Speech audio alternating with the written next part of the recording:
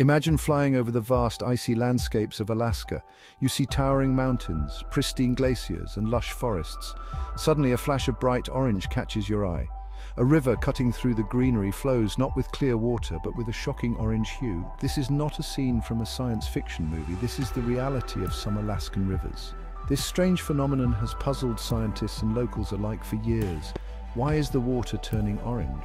What does it mean for the environment and the creatures that depend on it? The answer lies in a complex interplay of natural forces and human activities. To understand this phenomenon, we must journey back in time to the heart of Alaska's mining history and delve into the science behind this dramatic color change. The primary suspect behind the orange rivers of Alaska is a phenomenon known as acid mine drainage. This occurs when water, often from rain or melting snow, interacts with rocks containing sulfide minerals, particularly iron sulfide, commonly known as pyrite or fool's gold. As the water seeps through these rocks, often disturbed by mining activities, a chemical reaction takes place. This reaction produces sulfuric acid and dissolves metals like iron and aluminum. When this acidic, metal-rich water flows into rivers and streams, it turns the water a striking orange. But the color change is just the tip of the iceberg. The real danger lies in the acidic nature of the water and the presence of dissolved metals which can have far-reaching consequences for the delicate balance of the ecosystem.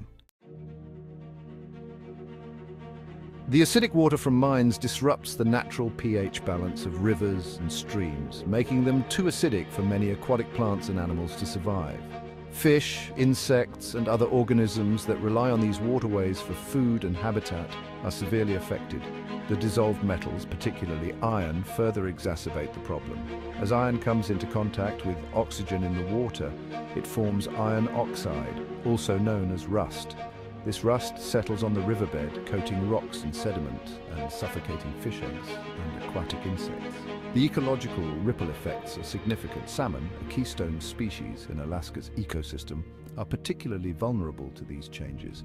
Their ability to spawn and their young's survival rates are directly impacted by the water quality of these rivers. Section 4. The human element, a legacy of mining. While acid mine drainage can occur naturally, human activities, particularly mining, have significantly amplified its impact. Alaska has a long history of mining, dating back to the gold rush era. While these operations brought economic prosperity, they also left behind a legacy of environmental challenges.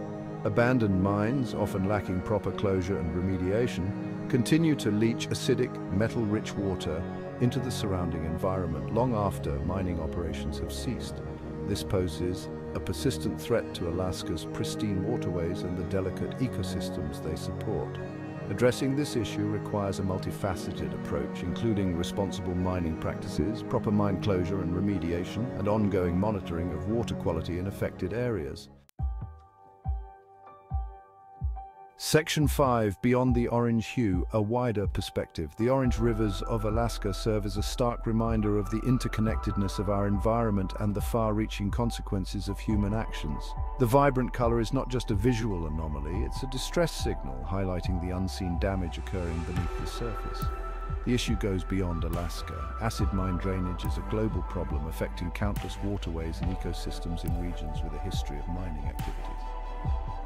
It underscores the importance of responsible resource extraction, environmental stewardship and the need to find sustainable solutions that balance economic development with ecological integrity. The lessons learned in Alaska can inform practices and policies elsewhere, helping to mitigate the impact of mining on the environment and preserve the health of our planet's precious water resources. Section 6. The future flows orange a call to action. As climate change accelerates the melting of glaciers and permafrost, the potential for acid mine drainage to worsen is a growing concern. The increased water flow can further mobilize acidic materials and carry them into rivers and streams, exacerbating the problem. The future of Alaska's rivers, and countless others around the world, hinges on our collective actions. By raising awareness, promoting sustainable practices, and advocating for responsible policies, we can help ensure that these vital waterways flow clean and clear for generations to come. Let the orange rivers of Alaska serve as a powerful reminder of our responsibility to protect and preserve the delicate balance of nature. The future is in our hands. Let's choose to make it a brighter shade of blue.